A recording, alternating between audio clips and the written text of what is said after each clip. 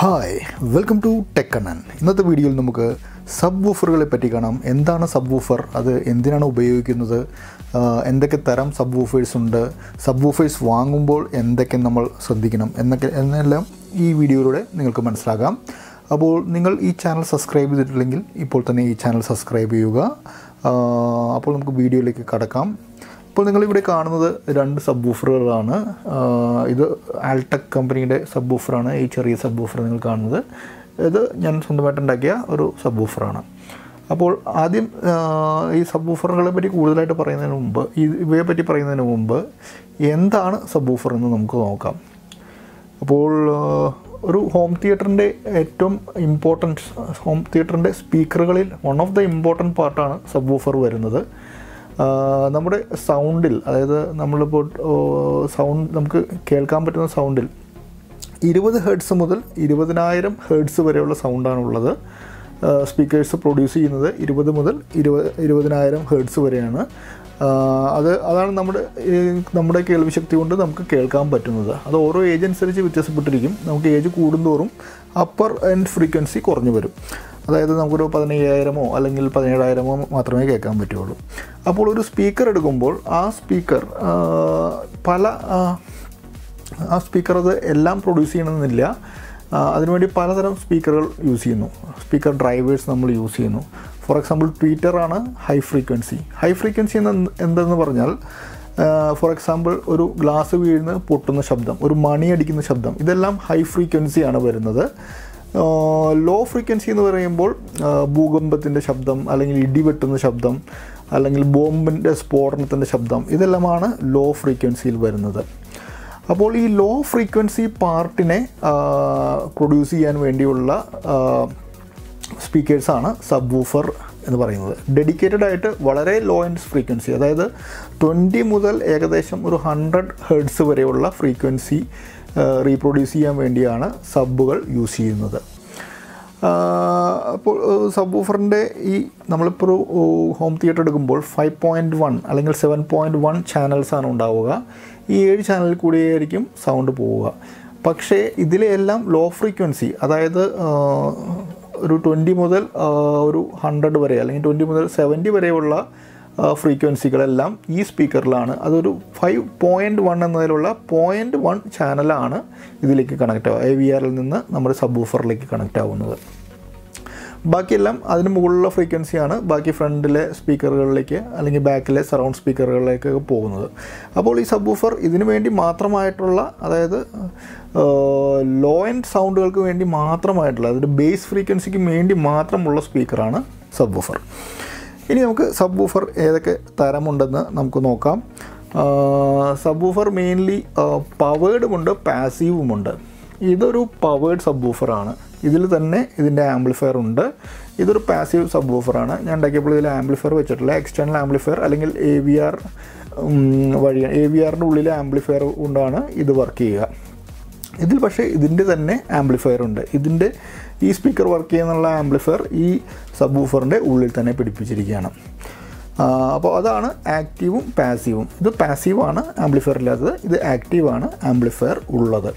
അപ്പോൾ നമ്മൾ home theatre speaker system വാങ്ങുമ്പോൾ എപ്പോഴും ആക്റ്റീവാണ് നല്ലത്. ബിക്കോസ് ആക്റ്റീവിന്റെ ഉള്ളിൽ ആ ആ സബ് ഊഫറിന് വേണ്ടിയിട്ടുള്ള ഫിൽട്ടറുകളും അതിന്റെ യോജിച്ച ആംപ്ലിഫയർ ഉണ്ടാകും അപ്പോൾ അത് കൂടുതൽ നല്ല പെർഫോമൻസ് ആയിരിക്കും ആക്റ്റീവ് സബ് ബൂഫേഴ്സ് എടുക്കുന്നത്. ഒരുവിധം ഹൈ എൻഡ് സിസ്റ്റത്തിലെല്ലാം ആക്റ്റീവ് സബ് ബൂഫറുകളാണ് വരുന്നത്.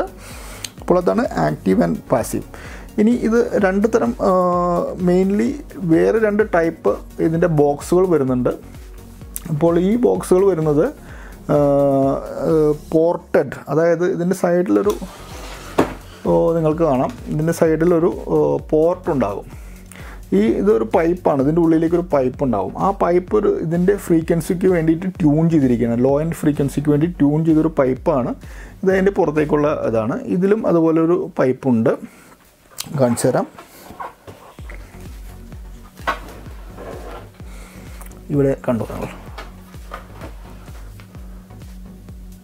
അടിയിൽ കാണുന്നുണ്ടല്ലോ. ഈ ഈ ഒരു ഇത് ഇത് ഇതിന്റെ പൈപ്പാണത് പൈപ്പിന്റെ ഓപ്പണിംഗ് ആണ് അപ്പോൾ ആ, ഇതിനെയാണ് പോർട്ടഡ് സബ് വൂഫേഴ്സ് എന്ന് പറയുന്നത്. അപ്പോൾ ആ പൈപ്പിനൊരു ട്യൂണിങ് ഫ്രീക്വൻസി ഉണ്ടാവും. ആ ഫ്രീക്വൻസി അനുസരിച്ച് നമ്മുടെ ലോ ആൻഡ് സൗണ്ട്സ് അത് ട്യൂൺ ചെയ്തിരുന്നു അപ്പോൾ അതുകൊണ്ട് തന്നെ കൂടുതൽ ബേസ് എഫക്റ്റ് അതിന് കിട്ടും. പക്ഷേ കുറച്ചുകൂടി ടൈറ്റായിട്ടുള്ള ബേസ് കിട്ടാൻ അതായത് മുഴക്കമുള്ള ബേസും ഉണ്ട് ടൈറ്റ് ആയിട്ടുള്ള ബേസ് ഉണ്ട് ഒരടിയും ടിഷ്ന് നല്ലൊരു മുഴക്കമുള്ള ബേസ് എപ്പോഴും അതിലും നമുക്ക് കേൾക്കാൻ രസമായിരിക്കുക ടൈറ്റ് ആയിട്ടുള്ള ബേസാണ്. അപ്പോൾ ടൈറ്റ് ആയിട്ടുള്ള ബേസ് കിട്ടണമെങ്കിൽ ഇത് ക്ലോസ്ഡ് ആയിട്ടുള്ള സബ് വൂഫേഴ്സ് ഉണ്ട്. പക്ഷേ അതിന്റെ ഒരു ഡിസഡ്വാന്റേജ് എന്താണെന്ന് വെച്ച് കഴിഞ്ഞാൽ ക്ലോസ് സബ് വൂഫേഴ്സിന് ശബ്ദം പോർട്ടഡ് സബ് വൂഫേഴ്സിനെല്ലാം കുറവായിരിക്കും. അപ്പോൾ നിങ്ങൾക്കൊരു വളരെ വലിയൊരു ഹോളൊക്കെ ആണ് നിങ്ങളിത് യൂസ് ചെയ്യുന്നതെങ്കിൽ നിങ്ങൾക്ക് എപ്പോഴും ഇതുപോലത്തെ പോർട്ടഡ് ആയിരിക്കും നല്ലത്. അതല്ലെങ്കിൽ അത്രയും പവർഫുൾ ആയിട്ടുള്ള ക്ലോസ്ഡ് സബ് വൂഫർ വെക്കേണ്ടി വരും. പിന്നെ പോർട്ടഡ് ആകുമ്പോൾ കൂടുതൽ അതായത് ഇതുപോലെ ഹോളുള്ളതാകുമ്പോൾ കൂടുതൽ ലോ പോകാൻ എളുപ്പമായിരിക്കും ഇതിന് അപ്പോൾ ഇതാണ് രണ്ട് തരം സബ് വൂഫർ സീൽഡും പോർട്ടഡും ഇപ്പോൾ നമ്മൾ പാസീവ് ആക്റ്റീവ് സബ് വൂഫർ കണ്ടു സീൽഡും പോർട്ടഡ് സബ് വൂഫേഴ്സിനെ പറ്റി കണ്ടു. ഇനിയിപ്പോൾ നമുക്ക് വേറെ എല്ലാവരും ചോദിക്കുന്നൊരു ചോദ്യമാണ്. കാറിന്റെ സബ് വൂഫർ യൂസ് ചെയ്തിട്ട് നമുക്ക് വീട്ടിൽ ഉപയോഗിക്കാൻ പറ്റുമോ എന്നുള്ളത്. കാറിന്റെ സബ് വൂഫറിന്റെ അതിന്റെ ഉത്തരം യെസ്സും നോവുമാണ് അത് ചില കാരണ സബ്വൂഫറുകൾ വീട്ടിൽ വർക്ക് ചെയ്യും. ചിലത് പക്ഷേ അതിനുള്ള എഫക്റ്റ് നിങ്ങൾക്ക് കിട്ടുന്നിരിക്കില്ല. എന്തെന്ന് വെച്ചാൽ കാറിന്റെ സബ്വൂഫർ വർക്ക് ചെയ്യുന്നത് കാറിന്റെ ഉള്ളിൽ വളരെ ചെറിയൊരു സ്പേസ് ആണ് ഉള്ളത്. കാറിന്റെ ഉള്ളിൽ ആ സ്പേസിൽ എയർ മാത്രം മൂവ് ചെയ്യേണ്ട ആവശ്യമുള്ളൂ ആ സബ്വൂഫറിന് പക്ഷേ വീട്ടിലെ സബ്വൂഫർ എന്ന് വെച്ചാൽ നമ്മളൊരു വലിയ റൂമിലായിരിക്കും മിക്കവാറും ഇത് യൂസ് ചെയ്യുന്നത്. അപ്പോൾ ഈ വലിയ റൂമിലായതുകൊണ്ട് ആ വലിയ റൂമിലെ എയർ അല്ലെങ്കിൽ വലിയ ഹാളിലെ അത്രയും എയർ അതിന് മൂവ് ചെയ്യേണ്ടി വരും. അപ്പോൾ അതുകൊണ്ട് തന്നെ അത് വർക്ക് ചെയ്യണമെന്നില്ല കാറിന്റെ സബ് വൂഫർ അതുകൊണ്ട് നിങ്ങൾ അത് ട്രൈ ചെയ്ത് നോക്കിയാൽ മാത്രമേ നമുക്ക് പറയാൻ കഴിയുകയുള്ളൂ കാറിന്റെ സബ് വൂഫർ പർട്ടിക്കുലർ ചില ബ്രാൻഡ്സിന്റെ സബ് വൂഫറുകൾ നന്നായിട്ട് വർക്ക് ചെയ്യുന്നുണ്ട്. ചില ബ്രാൻഡ്സിന്റെ വർക്ക് ചെയ്യുന്നില്ല. കാറിന്റെ സബ് വൂഫറുകൾ തന്നെ നിങ്ങൾ കണ്ടിട്ടുണ്ടാകും. ഒരു ചെണ്ട പോലെ ഇരിക്കുന്ന സബ് വൂഫേഴ്സ് അതുപോലത്തെ സബ് വൂഫറുകൾ നമുക്ക് ട്രൈ ചെയ്ത് നോക്കാവുന്നേ ഉള്ളൂ. പക്ഷേ മിക്കതിന്റെയും ലോക്കലി ബിൽഡായിരിക്കും അതിന്റെ ഈ പാരാമീറ്റേഴ്സിലായിരിക്കില്ല ഇപ്പോൾ നിങ്ങൾ ഈ ഒരു ഡ്രൈവർ ഈ ഇത് ഈ സ്പീക്കറിന് പറയുന്നതാണ് ഈ യൂണിറ്റിന് പറയുന്നതാണ് ഡ്രൈവർ എന്ന് പറയുന്നത്.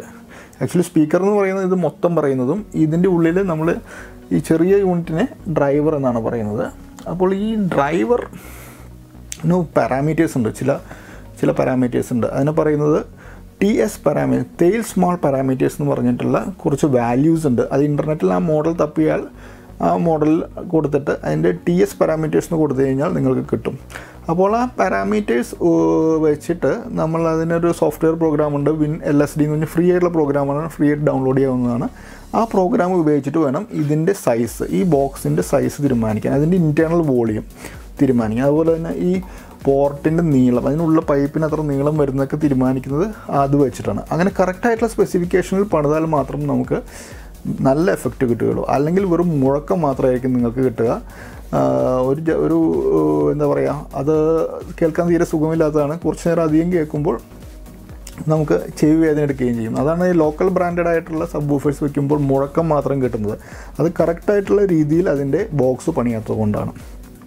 ഈ ബോക്സ് എല്ലാം അതിന്റെ പാരാമീറ്റേഴ്സ് വെച്ചിട്ട് കാൽക്കുലേറ്റ് ചെയ്ത് ഇതിന്റെ ഇന്റേർണൽ വോളിയം കണ്ടുപിടിച്ച് നമ്മൾ അതിന്റെ സൈസ് കാൽക്കുലേറ്റ് ചെയ്ത് പണിതിരിക്കുന്നതാണ്. അപ്പോൾ അതാണ് കാറിന്റെ സബ് ഓഫേഴ്സ് വീട്ടിൽ യൂസ് ചെയ്യാൻ പറ്റുമോ ഇല്ലയോ എന്നുള്ളത് നമുക്ക് പറയുന്നത്. അപ്പോൾ ഇതൊക്കെയാണ് സബ് മെയിൻ മെയിനായിട്ടുള്ള കാര്യങ്ങൾ വരുന്നത്. അപ്പോൾ നിങ്ങൾ വീട്ടിലെ ഹോം തിയേറ്ററിന് വേണ്ടി ഒന്നുകിൽ റെഡിമെയ്ഡായിട്ടുള്ള ഹോം സബ് ഓഫേഴ്സ് വാങ്ങിക്കുക അല്ലെങ്കിൽ ഏതെങ്കിലും ഒരു ഡ്രൈവർ വാങ്ങിച്ചിട്ട് അത് ഈ ടി എസ് പാരാമീറ്റേഴ്സ് നോക്കിയിട്ട് അതിനുള്ളൊരു ബോക്സ് പണിയുക. കാറിന്റെ സബ് ഓഫേഴ്സ് ട്രൈ ചെയ്ത് നോക്കാവുന്നതാണ്.